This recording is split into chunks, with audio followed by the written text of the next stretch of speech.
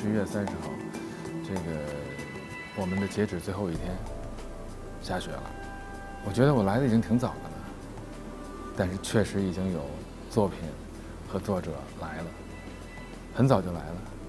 来的是个老者，我印象里面，嗯，他跟我说，他说他零八年就送过稿子，下脚了，他希望他能够参加冬奥会的设计。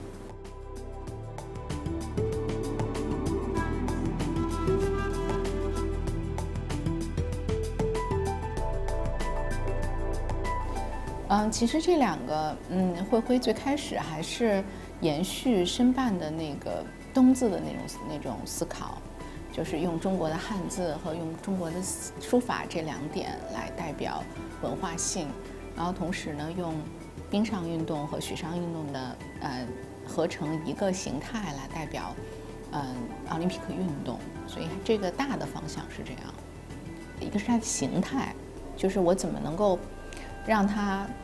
既读得出字，然后又运动的图形状态有，就是把形态怎么掌握。而另外一个呢，就是一直在写它的动感。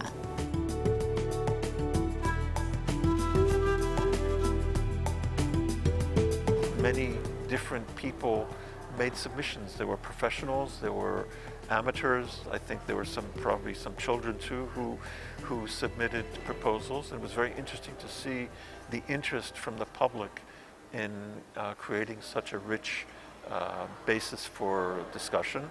啊，大家在选定这个设计标识的这个元素上啊，啊，有很多共同性，那就是 要把冰雪运动和中国文化的元素结合起来。这一点啊，让我印象非常深刻。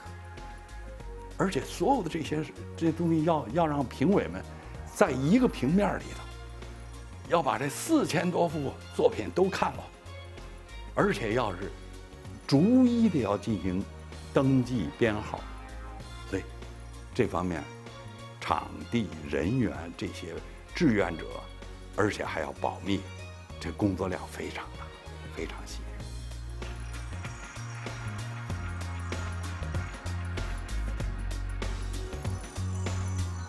它其实每一根弧线，它的曲线，它的每一根曲线的弹性，其实是对我们，我跟大军还有林老师，我们都是仔细的调过的。对，包括颜色也是前前后后一直在尝试。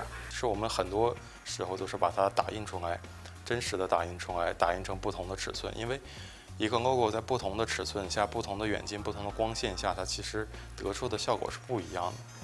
初衷还是要确保这个方案。保持它原有的创意，保持它原有的那种活力和生命力，和它的那种这个就是原创作者的那种这个最呃核心的东西，最有这个价值的东西。那么残奥会呢，它看上去视觉上比那个要稍微短一些，但实际上你要仔细观看的话，它好像会蕴含着一种。更大的一种力量，那种力量是自内而外的。我认为这也是比较符合残疾人自强不息的一种精神的一个气质。